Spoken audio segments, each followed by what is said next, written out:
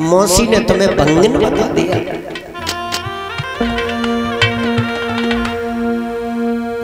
मैं उस दुख को कैसे सुनाऊं? दरब रोने लगा जवाब दी, माँ, तुम सो गई हो। मगर तू कितनी अच्छी है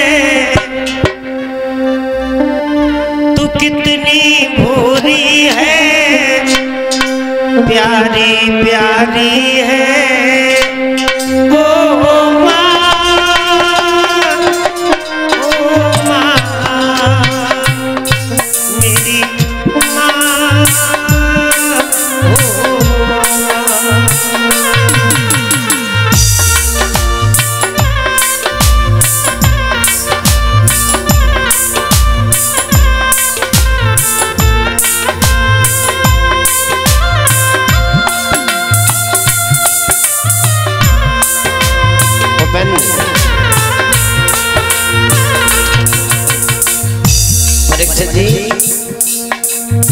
लोग बड़े किस्मत वाले होते, जिनके घर में माँ होती।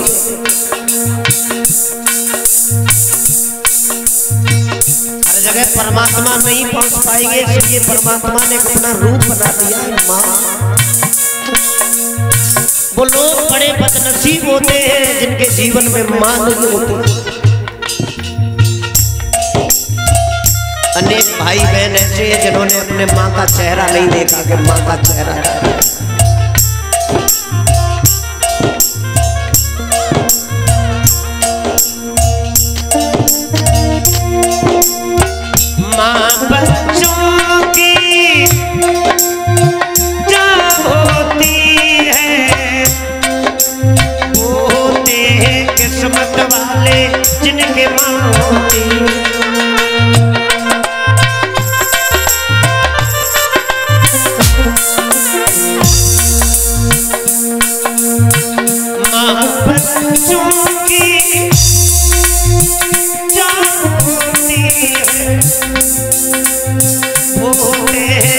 हैं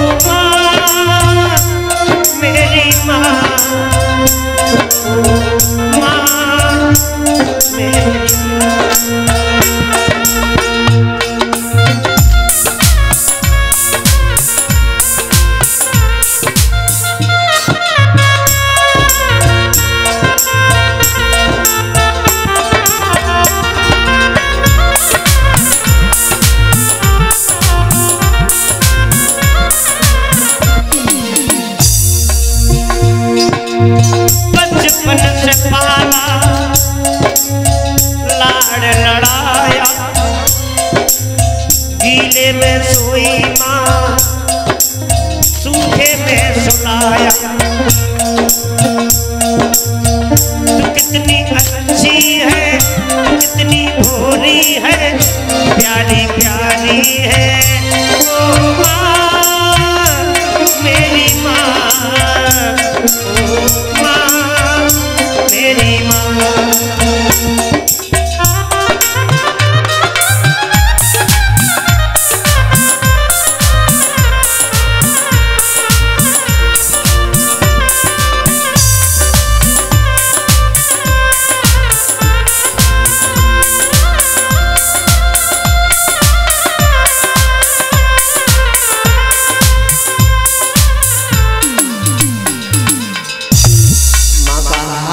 हाथ पकड़ के धरो आँसू बहा करके रो रहा है। तब तक नीचे से उत्तम ने आकर के आवाज़ लगा दी धरो भैया धरो भैया। ध्रुव ने छत से झाँक करके देखा, बंधुओं, उत्तम रो रहा है। जवाब दिया ध्रुव भैया, नीचे आ जाओ। मेरी माँ ने मुझे मारा है, तुमसे कुछ नहीं कहा। नहीं आओगे? ध्रुव कहने लगा, नहीं भैया, हमें नहीं बुलाओ। मेरी खातर तुम्हारी माँ ने तुम्हारे गाल में तमाचा मारा है और हमें भंगन का बालक बताया है। तुम रानी के पुत्र हो। मेरी किस्मत में तुम्हारे साथ खेलना नहीं है। उत्तम कहने लगा ध्रुव भैया ध्रुव मेरे हृदय की निकले नए गांसी और जो नए नीचे आए भैया तो लगाए मरु फांसी भाई भाई में बड़ा प्यार होता है लोगों भाई का प्यार तो वो जानता है जिसने भाई का फ़र्ज़ निभाया उत्तम के ऐसे शब्द सुने तो अपनी मैया का कहा हुआ वचन ध्रुव भूल गया। और उत्तम को जाकर के छाती से लगा लिया। उत्तम कहने लगा, भैया, आज हम लोग वहाँ चलेंगे जहाँ मेरी माँ कभी नहीं जाती है। कहाँ चलोगे? बोले, पिता के दरबार में। आज राजा उत्तानपाद के दरबार में दोनों बचपन की उम्र के बालक ध्रुव उत्तम जब पहुँच गए तो राजा से नहीं रुका गया, भैया।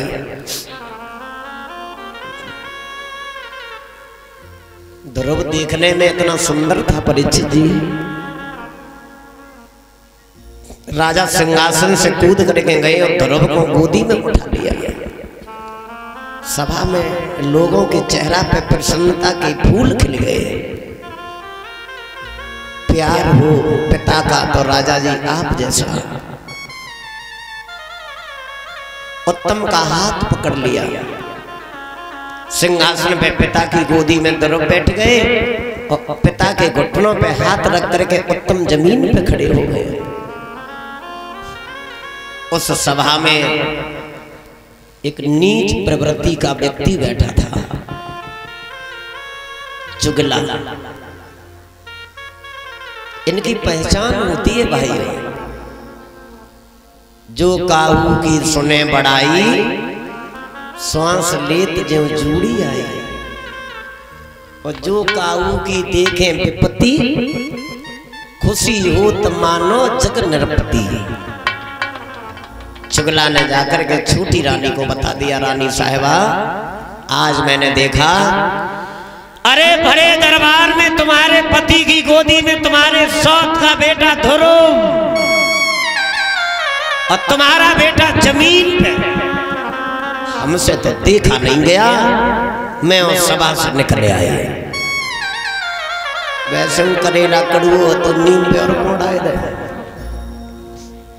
छोटी रानी